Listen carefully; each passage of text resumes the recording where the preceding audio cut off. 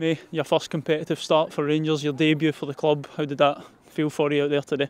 It was a great experience, yeah, to start and obviously make my debut as well. So yeah, I'm really happy. And what was your reaction when Jo brought the news to you to be in the starting lineup?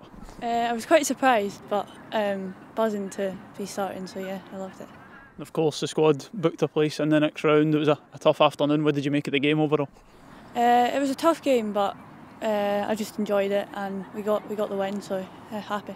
And you've been part of the squad through pre-season, the first few months of the campaign. Just describe being amongst the group, learning from senior players. How have they been for you?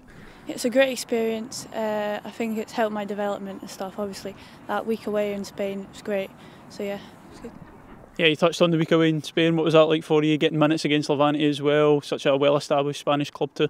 Yeah, it was a good team to play against, a Spanish team. So yeah, got on last 15 minutes, so yeah, so it was good. And the likes of Joe, the coaching staff, what have they been like for you in the, the last few months? Uh, really helpful, really nice as well, just integrating me into the team, so yeah, good. And you feel like your development, you touched on it, your development increasing over these last few months, training day in, day out with these seasoned pros. How's that been for you on a daily basis? Uh, great, yeah, to see them, obviously, some great players who I've like seen when I was younger. So yeah, it's great to like be in with them, training, see what they're like day to day.